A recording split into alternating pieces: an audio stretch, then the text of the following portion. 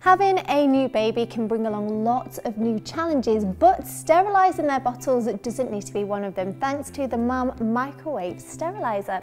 So if we take a look at what you get, you have the unit. It also comes with two bottles, two soothers and some pincers. So to open up, you need to unclip on either side. Then you'll see your basket which you take out and this is what you're going to place all of your different items in. Now you need to fill it with 200 mils of water and you need to make sure that you do it with exactly the 200 mils, so do measure it out.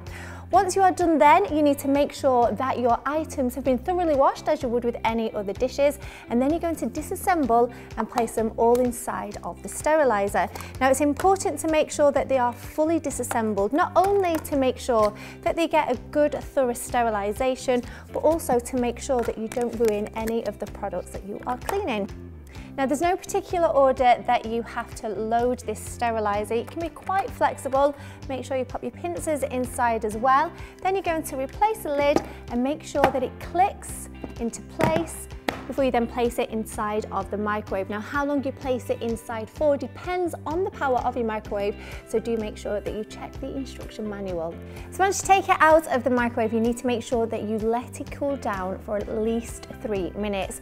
Once the cooling process has been completed, you then want to safely unclip it. Do be careful of any steam that may escape from the steriliser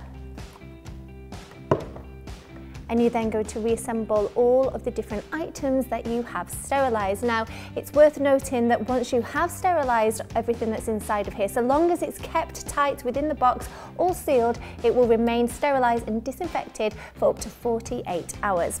Now, when you are assembling everything again, do make sure that you use the pincers for the items that are going to be going into the baby's mouth. So for the teats, so once everything's assembled and ready to use and make sure that you empty the steriliser, pouring that water away down the sink, then take a dry cloth, just clean it out, clip everything back into position and pop it away ready for next time.